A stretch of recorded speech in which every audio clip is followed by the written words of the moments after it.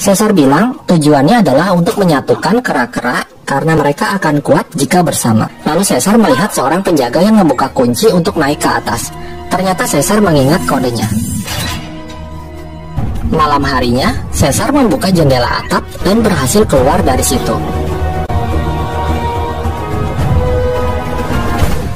Ia pulang ke rumah Will, tetapi hanya untuk mengambil serum gas 113. Setelah itu dia kembali ke rumah kera dan nyebarin gasnya ke seluruh kandang.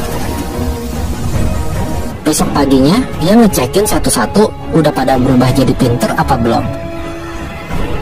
Si pemilik rumah kera sampai bingung melihat kera-kera berkumpul kayak lagi rapat. Sementara itu, Franklin ditemukan tewas di kamarnya. Kemungkinan besar akibat dia menghirup gas obat itu. Kembali ke kandang, Dodge yang melihat Caesar nggak mau masuk ke kandang, lalu menyerangnya dengan senjata listrik.